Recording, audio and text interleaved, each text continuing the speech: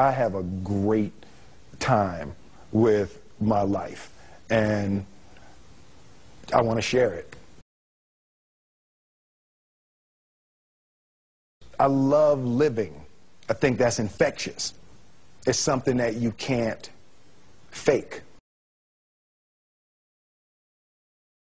Greatness is not this um, wonderful, esoteric, elusive, uh, God-like feature that only the special among us are, will ever taste. You know, it's something that truly exists in all of us. It's very simple.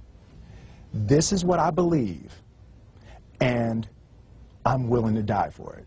Yeah. Period. It's that simple. I know who I am, and I know what I believe. I know who I am. I know who what I that's all I need to know. And that's all I You need to know. So from there, you do what you need to do. Yeah. You know, and I think what happens is we make the situation more complex than it has to Because be. Because we're looking for complexity. There's got to be Absolutely. something complex to understand. it Greatness. can't be that easy. No. We didn't grow up uh, with the sense that where we were was where we were going to be. You know, we grew up with the sense that where we were almost didn't matter because We were it- becoming. we were becoming Right. something greater. The separation of talent and skill is one of the, the, the, the greatest misunderstood concepts for people who are trying to excel, who have dreams that want to do things. Talent you have naturally. Skill is only developed by hours and hours and hours of beating on your craft. I've, I've never really viewed myself as particularly talented. Where I excel is ridiculous, sickening work ethic. You know, while the other guy's sleeping, I'm working. While the other guy's eating, I'm working. There's no easy way around it. No matter how talented you are, your talent is going to fail you if you're not skilled. You know, if you don't study, if you don't work uh, really hard and dedicate yourself to being better every single day, you'll never be able to communicate with, with people, with your artistry, the, the way that you want. So The only thing that I see that is distinctly different about me is I'm not afraid to die on a treadmill. You might have more talent than me, you might be smarter than me, but if we get on the treadmill together, right, there's two things. You're getting off first, Yeah. or I'm going to die. It's really that simple. One summer, his dad tore down a brick wall on the front of his business and told 12 year old Will and his 9 year old brother to rebuild it, a job they said was impossible. It took them a year and a half, but they did it. And he said, Now don't you ever tell me it's something that you can't do. You don't try to build a wall. You don't set out to build a wall. You don't say, I'm going to build the biggest, baddest, greatest wall that's ever been built. You don't start there. You say, I'm going to lay this brick Yeah. as perfectly as a brick can be laid. Yeah. And you do that every single day. And soon you have a and wall. soon you have a wall. You know, it's uh, an idea that my grandmother uh, always had that, it, you know, if you're going to be here, then there's a necessity to make a difference. She always instilled the responsibility, the spiritual responsibility that you have to make every group you come in contact with better. I want to do good. I want the world to be better because I was here. I want my life, I want my, my work, uh, my, my family, I want it to mean something. And it's like, it has, if, if you are not making someone else's life better, then you're wasting your time. You know, like the, the, your life will become better by making other lives better. I want to represent an idea. I want to represent possibilities. I want to represent the idea that you really can make what you want. One of my favorite books is the the Alchemist, uh, Paulo Coelho, and that's just I just believe that. I, I believe that I can create whatever I want to create. The first step before anybody else in the world believes it is you have to believe it. There's no reason to have a plan B because it distracts from plan A.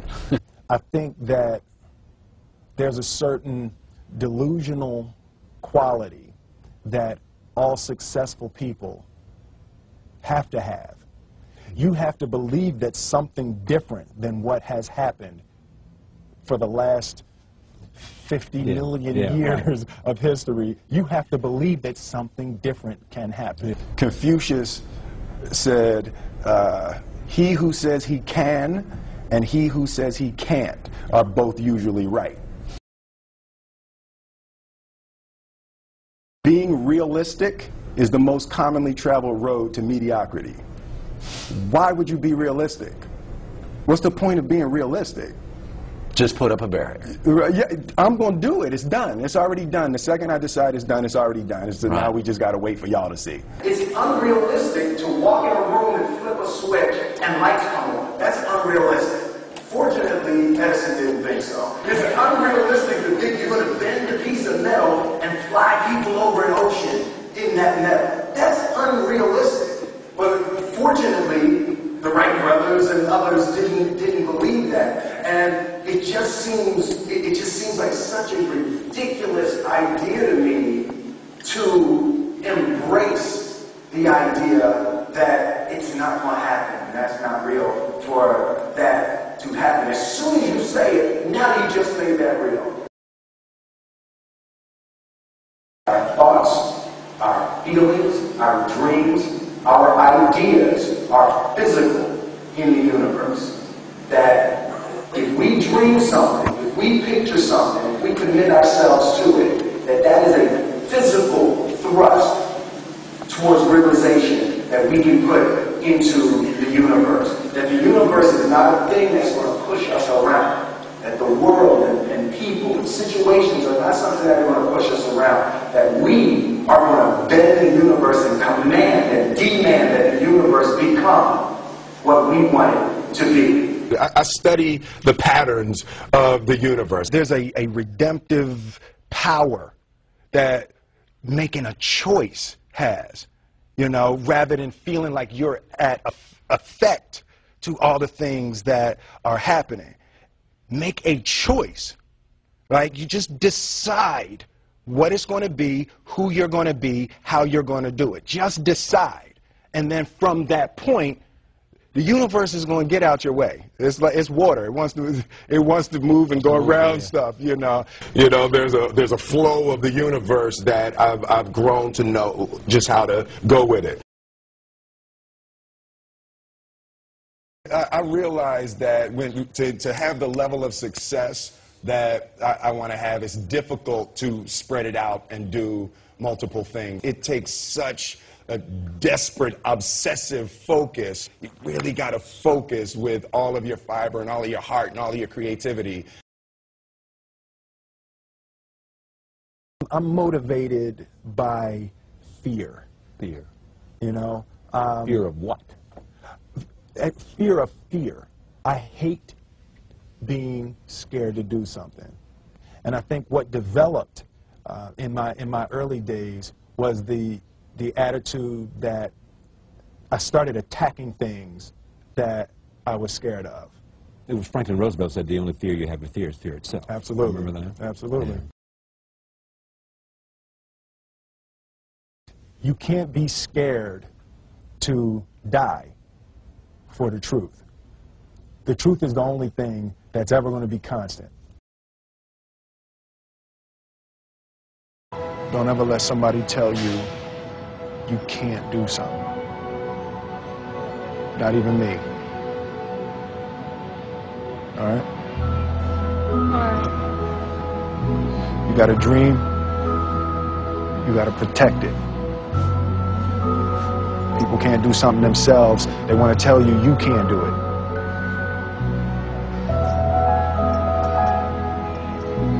You want something, go get it. Period.